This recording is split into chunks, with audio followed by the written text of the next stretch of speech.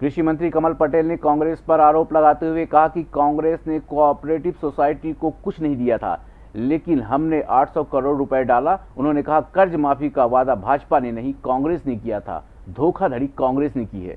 कृषि मंत्री कमल पटेल ने कांग्रेस की किसान कर्ज माफ़ी को लेकर कहा कि कांग्रेस ने कर्ज माफ़ी का वादा किया था, जिसको उन्होंने नहीं निभाया।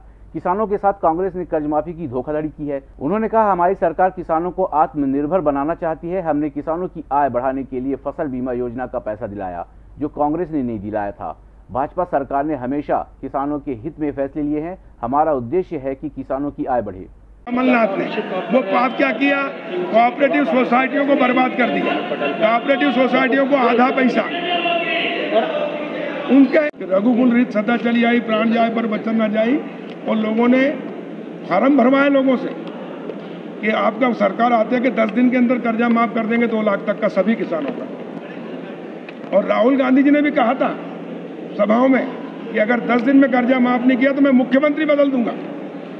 लेकिन कांग्रेस जो कहती है वो करती नहीं है और धोखा देती है और धोखा दे के एक बार जीत सकते हो, दोबारा कभी नहीं। और इसलिए जनता ने उपचुनाव में ऐसा धक्का दिया कि हमेशा के लिए कांग्रेस खत्म हो गई। अब किसान कभी इनके बहकाव में आने वाला नहीं है। दूसरा कमलनाथ जी ने 17 दिसंबर 2018 को शपथ ली मुख्यमंत्री की।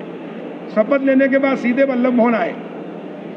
भवन का उद्घाटन किया और पहला ऑर्डर जो दस्तखत किए, उन्होंने लिखा कि साढ़े दो लाख तक के 31 मार्च 2018 तक के बकाया फ़सल ऋण माफ़ किया जाता है दस्खत कमलनाथ और प्रमुख सचिव राजौरा से आदेश निकला दिए। माननीय मुख्यमंत्री शिवराज सिंह जी की सरकार हमारी आई। हमने 800 करोड़ रुपया जो कोऑपरेटिव सोसाइटियों का इन्होंने नहीं दिया था वो भी हमने डाला। उन्होंने नहीं दिया था। उन्होंने नहीं दिया था। वो भी माननीय मुख्यमंत्री जी के मार्गदर्शन में हमने नेतृत्व में दिया है। और ये धोखाधड़ी कांग्रेस ने की है। दूसरी बात कर्ज माफ़ी का वादा भारतीय जनता पार्टी ने नहीं किया। संगीत की स्वर लहरियों से। सांस्कृतिक ताने बाने तक।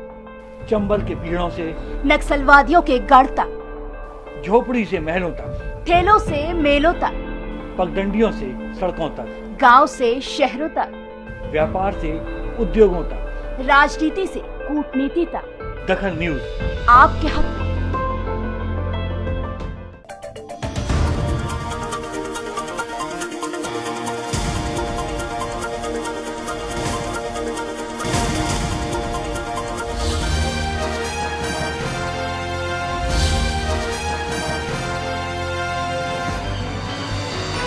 आप देख रहे हैं दखल न्यूज़।